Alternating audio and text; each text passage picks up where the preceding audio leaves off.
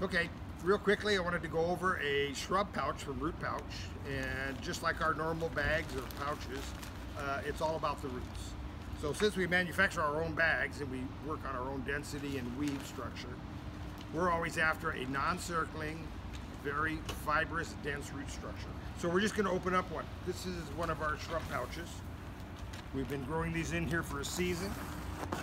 Let's just take one apart, see what we got here.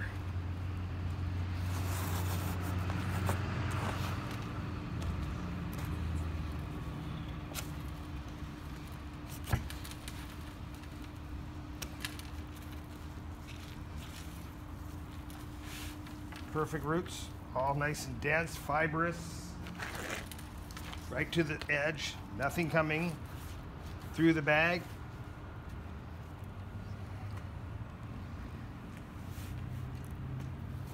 Let's see here.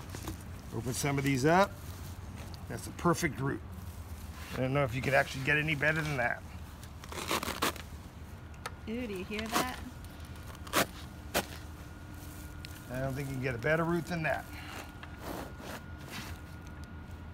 All the root tips have just been stuck in the fabric, nothing coming through, which means now when you rip the bag, you just tore off the ends, you have thousands of, of very healthy little straws sucking in water and nutrients in this new location. I don't think you can get better than that.